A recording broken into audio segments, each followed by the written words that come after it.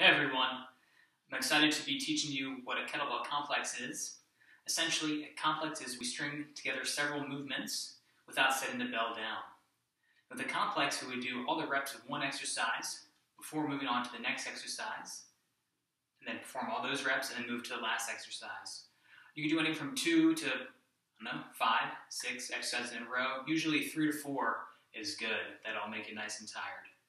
So I'm going to show you an example of a complex. I'm going to do five cleans, five presses, five front squats, switch hands, and do the same thing on the other side. So that would be one set right there.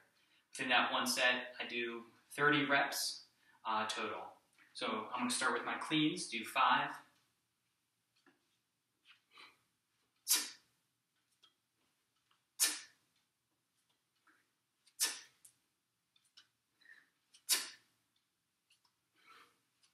And I transition to my press.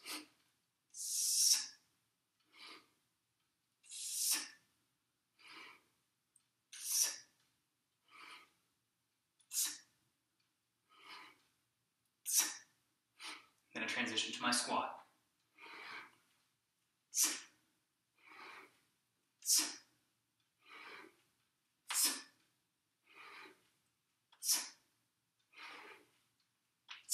Then I would switch hands and repeat on the other side.